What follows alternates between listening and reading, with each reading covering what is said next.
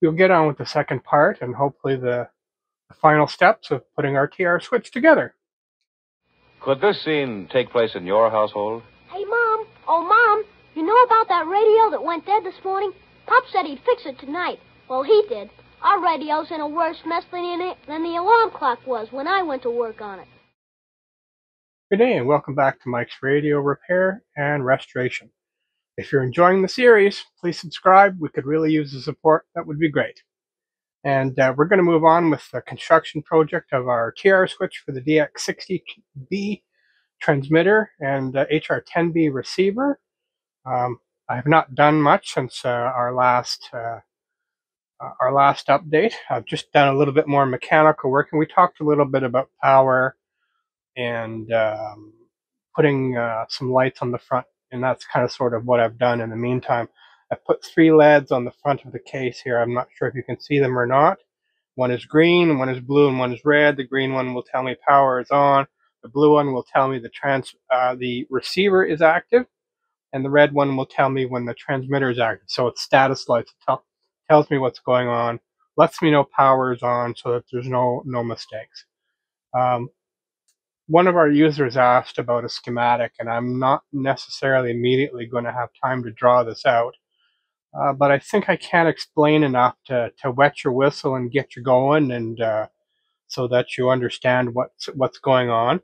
So let's take a, a a look at the schematic of the power supply that I've elected elected to use. is extremely easy. So we'll look at that first, and we'll come back here. Okay, this is a schematic of the uh, simple power supply that I've chosen to use. Our AC input comes from the 8.3 or whatever the voltage is there, approximately from the uh, doorbell transformer that had my junk box. We've got four 1N914 diodes in what's called a full wave bridge rectification configuration. And we have a capacitor, which I'm electing to use 470 microfarads at 50 volts, which will give us uh, somewhere between 12 and 13 volts output. Now, if you notice, there's a, an equation at the top of the screen. Is kind of a handy equation. Write it down uh, if you're not great at remembering things. If you have an AC transformer and you want to know if you pump the output of the AC transformer through a full wave bridge rectifier and you want to know how much DC you're going to have, that's the equation. So, you know, eight, say 8.2 times 1.44 will tell us how many volts DC are, is going to come out of that uh, rectifier. So that's a very handy little equation uh, to use. But um, the uh, premise of this is simple. This is the positive lead, of course, and since this is ground, this is negative. Um, the positive will go to both of the actuation coils on the relays and uh, provide between 12 and 13 volts for them. And once you provide the relays ground, they will of course actuate. And the ground will be provided by the uh, relay that's inside the transmitter, the secondary contact uh, that I had showed you in an earlier video. So it's very, very simple. Um, so we're taking our, our doorbell AC output of 8, 8 odd volts, uh, converting it through a full wave bridge rectifier, uh, filtering it with a small capacitor, running it to the relay, and when we provide ground from the other relay inside the DX60, away the relays will go and they will close. Um, and that works with the the microphone. When you when you pull the trigger on the microphone, uh, this whole system comes into play. So let's go and take a look at how I've got this set up on the bench. Okay, let's compare this to see to what we just saw in the schematic. We've got our uh, transformer. We've got two black wires coming out the 8 volt tap uh, of the transformer, which are the two screws here. And we've got four diodes. It's pretty dark. I don't know if you can see them. There's one here, one here, one here, and one here. The ground of this full wave uh, diode configuration is right here on this pin, center pin of the terminal block, which is also chassis ground. I've removed the paint underneath where that's bolted down so that our ground is right in the chassis. This is our filter cap that goes from ground, which is also the center terminal of this terminal, to the positive output lead, which is here. You can see the red wire is attached. This is our, our voltage output. And if you follow the red wire around, it goes to one of the coils on the relay, and another red wire runs, runs around to this coil on the relay on this side. So we now have to bring, in order to actuate the relays, they'll need to have ground. They'll need to be grounded. And that's where this, the secondary switch inside the transmitter kicks in. So here's my one ground wire here. It comes around to the other terminal on the relay to give, bring ground. And this will connect to the receiver. So when you ground that wire, it will actuate both of these relays. So with this power supply portion all done, what I like to do is set up and measure the voltage output of the uh, rectifier while it's on and do a, a, do a live test. I mean, we've not wired up any of the switching action of the relay, but we can see if the uh, power supply works and uh, the relay is closed. We can provide a ground. So that's exactly what we're going to do next. Okay, so uh, we're just going to turn on some power here. And if you're following along, usual cautions prevail. You uh, do stuff like this and you're following along, you do so at your own risk. I've got 120 volts fed to this transformer um, without a lot of protection. So uh, kids don't do this at home. I guess that's the uh, that's the warning. So we've got power going to it. Uh, we don't we're not letting any of the magic smoke out, so that's good. So what we want to do is we want to check the voltage output of the rectifier. And uh, of course, this center terminal is also ground, so we're going to go on here. And pardon me, I'm working around the camera. Let me just see if I can get onto it here now. Not doing a very good job of it. There we go, 12.8 volts or so. That's plenty of voltage.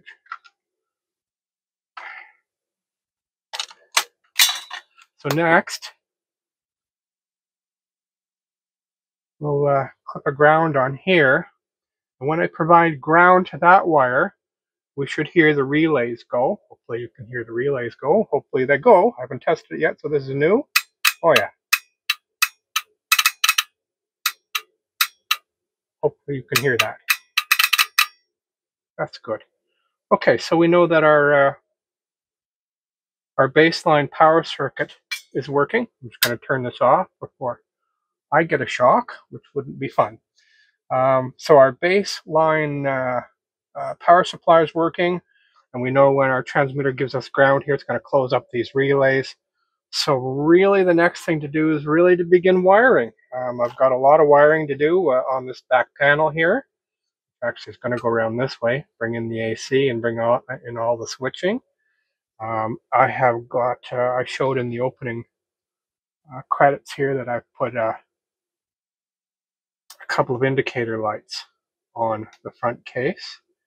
And I'm using some nice little nuts and bolts to hold this together rather than self-tapping screws. So the, uh, I don't know if you could see that. I wasn't looking at the camera, but I'm looking now. Again, nice little nuts and bolts there to hold this together rather than the terrible self-tapping screws that it came with. So every time I replace some of those self-tapping screws, the case gets a little better. I also drilled holes in the center here that are going to pass through the uh, this uh, frame right here because the bottom is a little saggy with all the weight and transformer on it. So that strengthens that up some. So uh, again, the next thing we're going to do is I'm going to start wiring and uh, I'll get uh, I'll uh, come back with updates. Okay, let's go over uh, some of the wiring I've done. This is the basic relay wiring I've done so far. relay switching, that is, this time. So, uh, this is the main TR switch for the receive transmit. I have on this wire, will be connecting to the antenna port. This wire will be connecting to the transmitter port, and this wire will be connecting to the receiver port. And this wire down here is the signal wire for the TR switch that comes from the DX60B. So when you're in receive mode and you're not powering these relays, signal will come in the antenna, and the, essentially the antenna is the movable wiper switch inside this relay. It will pass signal to the receiver port. But when you apply 12 volts to the coil by grounding this, the, the antenna switch will flip to the transmitter port.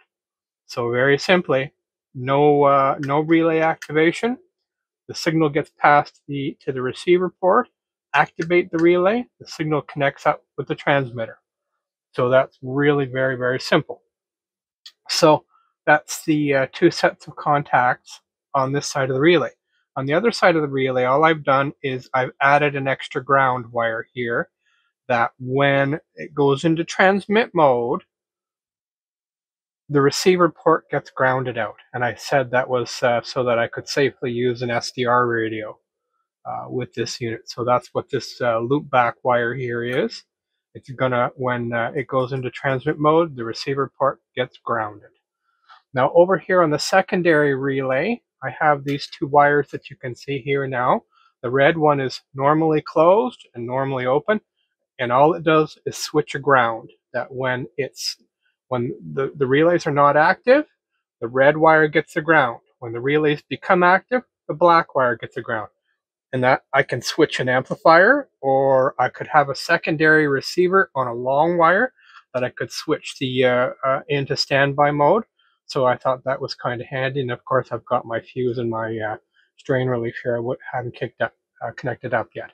So what I've also got here is I've got a power wire that goes to the wiper switch or the moving switch uh, contact on this relay. And this is going to switch between my two diodes, between receive and transmit. So that's going to give me a signal about what's going on inside this box once I close it up. So the next thing I have to do is start putting the panels on and wiring up the back side and wire up the front side. And uh, I think I'll do the front and get the lights all rocking and rolling and we'll come back with a test with that next. Well, the front panel, well, the panels are on the back and front and the front panel is wired on with the LEDs. I've not wired in the back panel completely yet, although I've put one ground. I did bring in the power uh, of course, the hot hits the fuse first, always. So we're going to plug it in and uh, just do a check and make sure the LEDs are working. Um, so what we should see is when it powers up, we should see the green one here fire up to tell us that power is on. And it should immediately go into receive mode, which uh, is the blue LED right beside the, the red one, of course. So let's plug it in and see what happens. Okay, so plugged in and it's on. And as per expectation, they're showing proper. So let's uh, let's actuate it and see if we get a. Uh, I have to work around the camera here, and that's not easy. When I ground that, there you go, it goes into transmit mode and the red LED comes on. And when you take your key off the mic, goes back into receive mode. That's just bouncing quickly because I'm not primitively touching this connector down here. So the LEDs are working good. So uh, next we got to wire up the back panel and uh, do a final test and uh, get it into service. Okay, power's on. It's in receive mode. We're going to do some testing after wiring up the back panel. Uh, essentially, the unit is complete other than putting the cover on and making sure the top cover is grounded. Pardon me, I'm working around the camera and bumping it again. So I have a continuity meter set up here. I don't know if you can hear it. Hope you can. So the first thing we're going to check now, since it's in the receive mode, I don't know, you can, yeah, you can see the blue light is on. So the antenna port is here, and the receive port is here. I can get on it. There we go. Okay, so that part checks out. Come on now, you can do it. There we go. Okay, so now we should have a ground on the uh, normally closed contact down here. Oh, I heard it. There we go. So that that's okay too. So now we're going to engage the relays and we're going to check and make sure that things switched over properly. I can get on it. Okay, so now we're in the transmit mode. We should have contact between the antenna port and the transmitter port, which we do. So that worked properly. So now we should have contact between the normally open. And there we go. So now we've confirmed that it's all working correctly. We can safely uh, connect it up to our radio and, and give it a try, which is the next step, uh, really, I guess. Well, I guess I'm going to get the cover on it. I don't really expect there to be any grief. So let's get the cover on it and uh, connect it up to a radio and see how it flies. Okay, and let's look and see how this all interconnects. I know there are some uh, newer folks out there that haven't had to do this type of thing, that TR switching was handled entirely by the radio, uh, receive and transmit all built into one box with a TR switch. So let's go through this uh, for everybody, see how this all interconnects. So we have our VFO, we have our transmitter, and we have our receiver, and we have our new TR switch. So the VFO all wound up here. Mates with the uh, accessory plug on the transmitter, like so. This is the signal output of the VFO, and I've changed these up to nice BNCs, as you can see, rather than the old noisy RCAs. So that's connected. Now, the receiver has a plug in the back in its accessory socket with the jumper when that jumper's connected, the uh, it's in receive, and the uh, uh, receive standby switch is active on the front, meaning you can manually switch it from receive or transmit. But if you break that jumper, it goes into standby mode. So what I've done is I've rigged up another plug um, for here, and uh, if we go to RX, we'll plug this into that uh, extra set of connectors that uh, we used right there. Oh, and the next thing that we're going to connect up here now, this is the TR signal.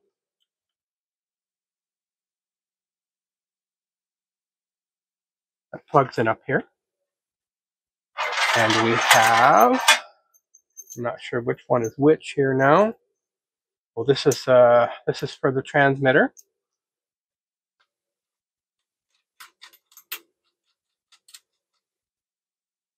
It screws in here like this.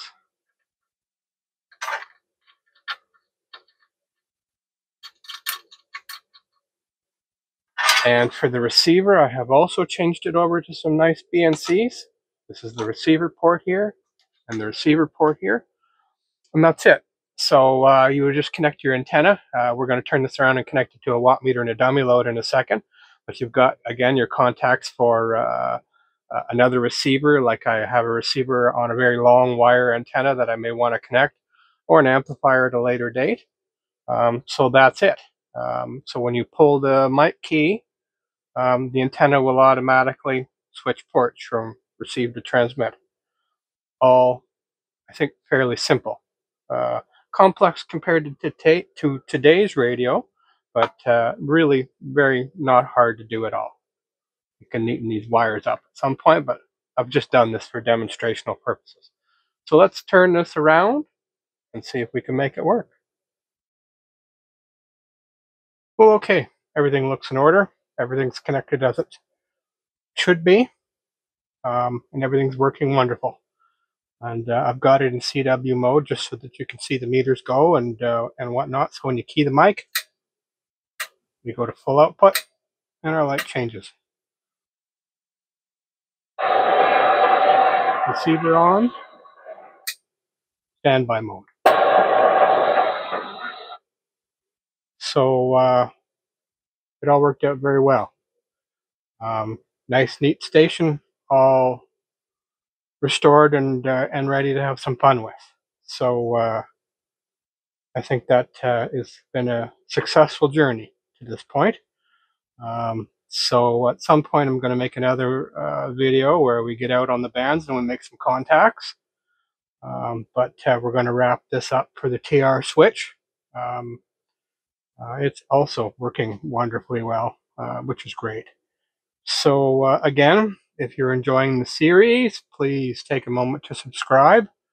Um, if you've got questions about the TR switch, you can join our uh, Facebook help group, uh, which the link is in the description below.